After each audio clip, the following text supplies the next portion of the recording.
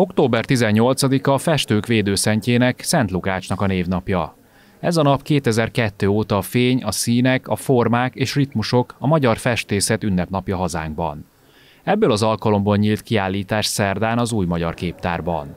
A Megyeház utcai kiállítótérben nyíló tárlaton 24 fehérvári vagy a városhoz kötődő művész alkotása látható.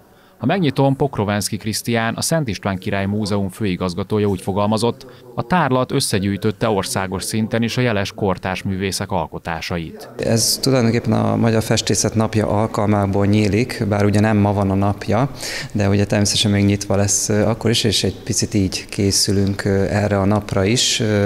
Egy kicsit több is talán, mint egy kiáltás megnyitó, itt tényleg a Magyarország színe java látható lesz majd a tárlaton.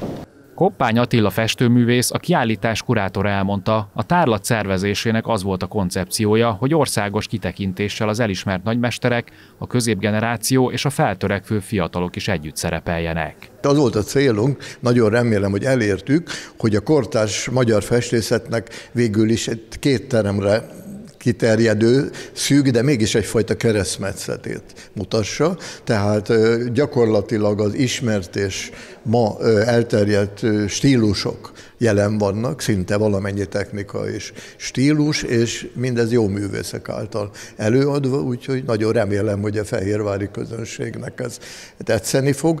Az új magyar képtárban nyílt képzőművészeti kiállítást október 20-áig tekinthetik meg az érdeklődők. A kiállításon egyebek mellett Pinke Miklós, Újházi Péter és Szentes Ottokár alkotásai láthatóak.